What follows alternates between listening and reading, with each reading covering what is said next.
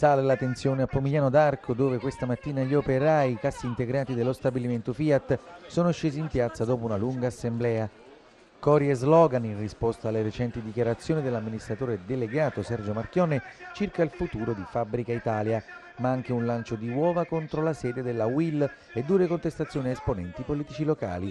I lavoratori hanno denunciato che su 20 miliardi di investimenti promessi ne è stato investito attualmente soltanto uno nel settore auto. Che noi da quattro anni percepiamo 800 euro al mese, stiamo in cassa integrazione. Marchionne ci ha promesso più volte soprattutto con l'ultimo piano industriale Fabbrica Italia che avrebbe riassunto tutti gli operai. Noi aspettiamo ancora che Marchionne i 20 miliardi di investimento che aveva promesso a Sacconi, che aveva promesso al governo precedente e all'attuale governo, vogliamo delle risposte. Questi 20 miliardi di investimento dove sono? I prodotti che devi fare dove sono? Non siamo più operai solo per operai, adesso le famiglie sono stanche perché si sono stancate anche le nostre famiglie di sentirsi dire eh, malsane verità o, o, o bugie su bugie, basta. Siamo arrivati veramente che non ne possiamo più.